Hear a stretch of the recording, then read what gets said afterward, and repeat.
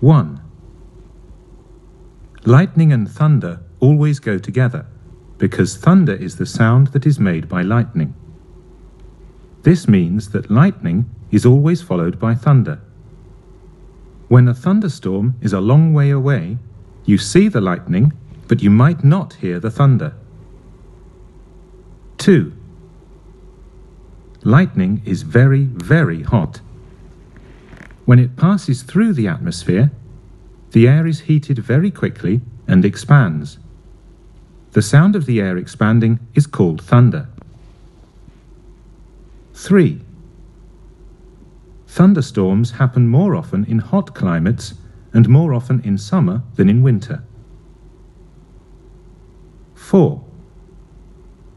The temperature of lightning is measured in degrees Celsius.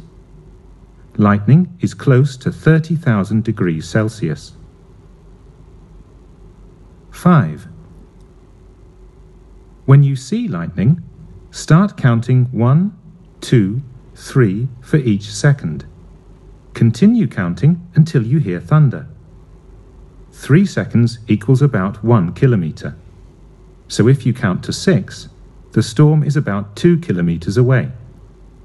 But if you only count 1 or 2 seconds before you hear thunder, the storm is very close. Take care. Track